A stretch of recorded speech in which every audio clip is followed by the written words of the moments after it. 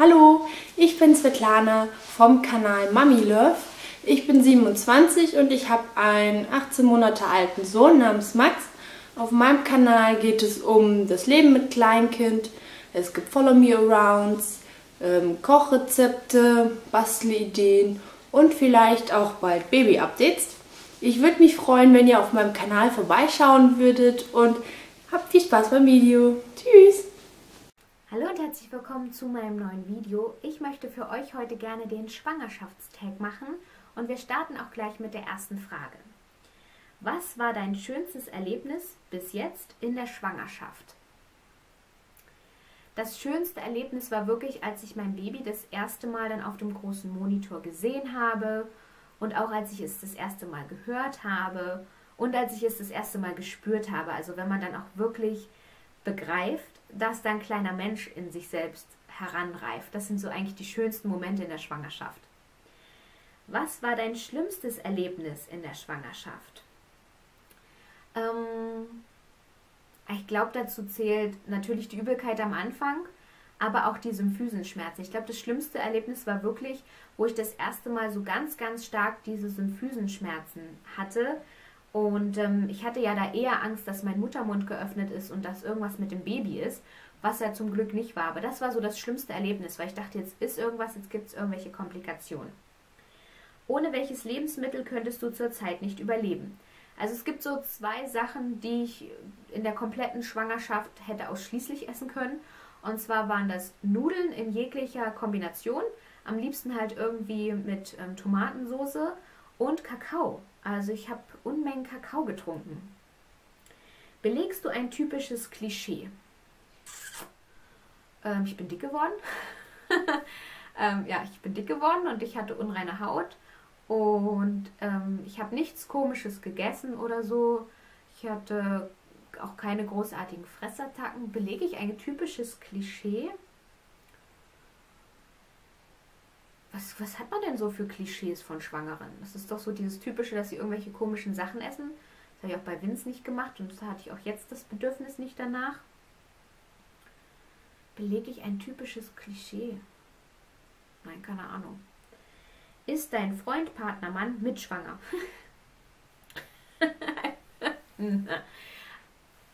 Manu ist etwa genauso dick wie ich. Also nein, nicht, er hat nicht, sein Bauch ist nicht ganz so groß, aber es kommt schon annähernd dahin. Ja, also es ist schon co-schwanger. Welches war bzw. ist dein stärkstes Schwangerschaftssymptom? Es war auf jeden Fall die Übelkeit am Anfang. Die hat sich ja auch wirklich über Wochen ziemlich stark hingezogen. Dann Müdigkeit war auch vorherrschend in der Schwangerschaft, hat sich auch durch die ganze Schwangerschaft gezogen. Bei Vince hatte ich die Müdigkeit nur am Anfang und diesmal war es aber wirklich auch dauerhaft. Wem wolltest du als erstes von der Schwangerschaft erzählen? Ja, Manu war ja dabei, als wir den Schwangerschaftstest gemacht haben. Also sowas mache ich immer mit ihm zusammen. Und wem haben wir es dann als erstes erzählt? Das weiß ich ehrlich gesagt gar nicht so genau. Also man hat dann halt angefangen, es der Familie zu erzählen und den Freunden und den YouTube-Zuschauern. Ähm, ja, dadurch, dass es Manu halt gleich wusste, wusste es ja der wichtigste Mensch sowieso schon. Was war das Erste, was du für dein Baby gekauft hast? Hm, ich vermute, es waren Klamotten, aber ich könnte es jetzt gar nicht genau sagen. Was war denn das Erste, was ich fürs Baby gekauft habe? So viel Neues habe ich ja gar nicht gekauft, weil ich ja noch einiges auch von Vince hatte. Aber ich nehme an, es war irgendein Kleidungsstück wahrscheinlich. Denke ich mal. Wie stellst du dir vor, wie dein Baby aussieht? Hm. Es ist ja schon die Frage, ob es ein Mädchen oder ein Junge wird.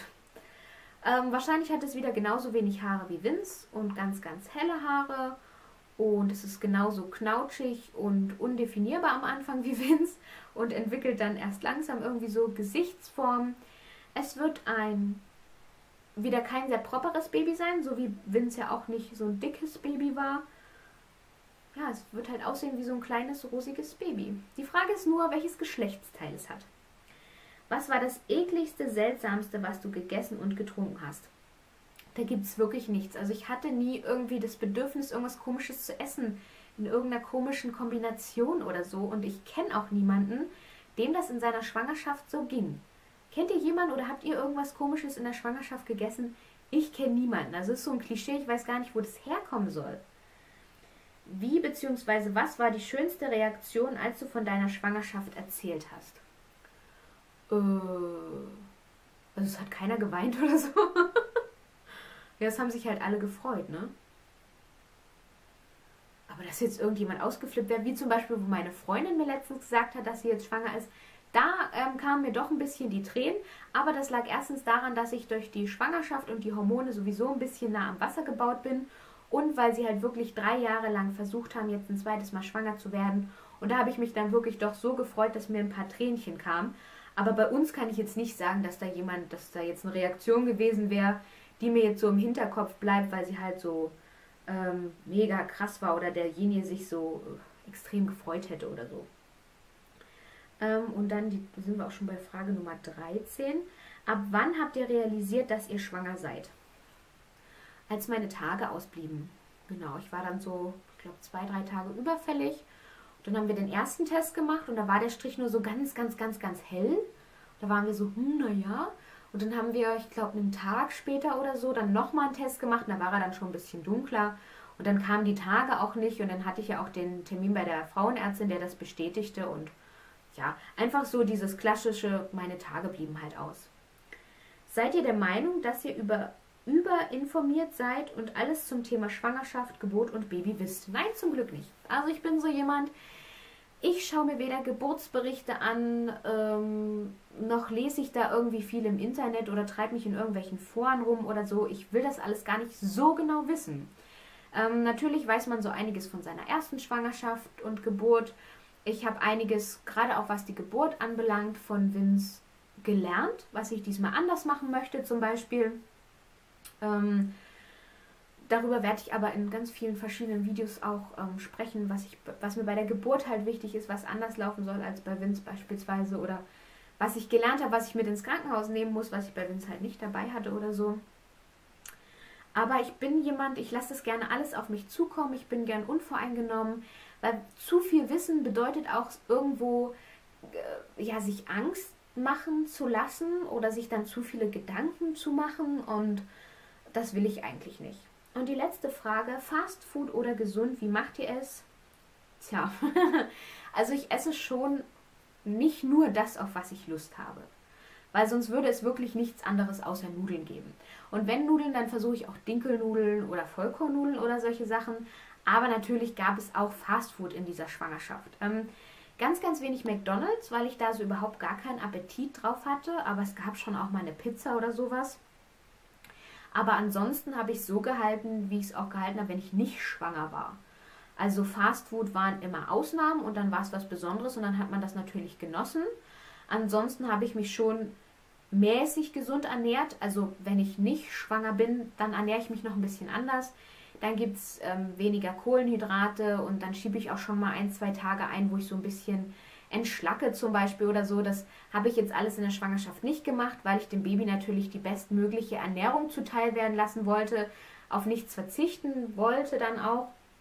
Gerade die Kohlenhydrate, normalerweise esse ich halt einfach weniger, aber ich hatte auch zum Teil Lust auf diese Kohlenhydrate auch wirklich. Und man sagt ja, dass diese ähm, Heißhungerattacken oder auch worauf man in der Schwangerschaft halt einfach Lust hat, gerade wie zum Beispiel mit dem Kakao, mit der Milch, das zeigt halt auch, was der Körper gerade verlangt, was er braucht, halt Milch, Kalzium.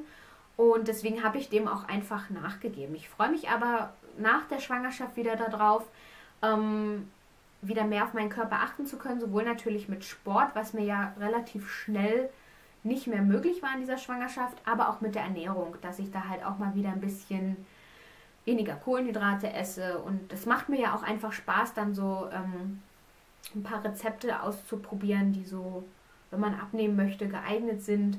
Und da freue ich mich auch schon wieder drauf. Aber jetzt so in der Schwangerschaft habe ich wirklich die meiste Zeit gegessen, worauf ich Lust hatte, aber schon, ich würde sagen, es war halt so ein Mittelmaß. Es war nicht extrem ungesund und es war nicht extrem gesund und ähm, bin damit ja ganz gut gefahren. Zugenommen habe ich trotzdem, selbstverständlich, auch mehr als ich eigentlich wollte, aber gut, das, man hat da halt nicht so viel Einfluss drauf. Gerade weil ich halt von Anfang an dann keinen Sport mehr machen konnte ist man natürlich auseinandergegangen. Aber ich fand, ähm, so optisch hat sich schon in Grenzen gehalten. Also bei Vince, weiß ich noch, hatte ich so ein Gesicht am Ende. Das ist mir ja zum Glück erspart geblieben. Aber das lag bei ihm, glaube ich, auch an den extrem starken Wassereinlagerungen, die ich jetzt auch nicht so stark habe. Dafür habe ich mega Zellulite, was ich bei Vince wiederum nicht hatte. Also es gibt auch extreme Unterschiede zwischen diesen ähm, beiden Schwangerschaften einfach auch. Und genau, das war der Schwangerschaftstag. Ich hoffe, es hat euch gefallen. Ich verlinke euch die Fragen unten in der Infobox, falls ihr auch mitmachen wollt. Und wir sehen uns dann ganz bald wieder bei meinem nächsten Video. Bis dahin, tschüss!